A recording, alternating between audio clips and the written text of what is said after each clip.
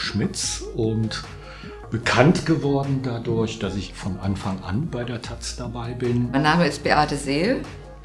Also bis zum Sommer letzten Jahres habe ich in der Taz gearbeitet und zwar seit dem 1.4.1980. Da kommt mein Kumpel. Hallo Horst. Hallo Georg. Marathon von. Das ist ja hochinteressant. Wir haben ja sehr viele, äh, auch sehr engagierte und langjährige Genossinnen und Genossen.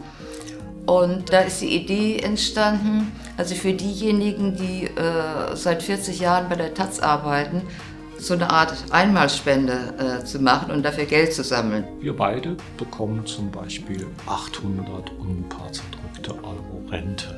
Der Hintergrund davon ist, dass wir am Anfang wirklich extrem wenig verdient haben und das ist jetzt so als eine Art Ausgleich dafür gedacht. Ich habe das Gefühl, ich habe alles, was ich brauche zum Leben. Ich komme auch mit dem Geld, komme ich gut zu Rande. Aber alles das wäre hoffärtig und hochmütig, wenn man sagen würde, nö, das brauche ich nicht.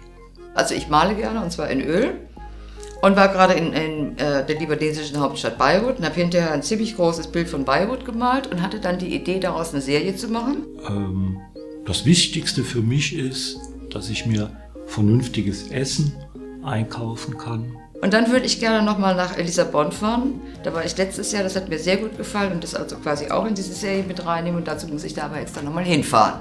Und das ist natürlich auch schön, wenn man ein bisschen Geld zur Verfügung hat.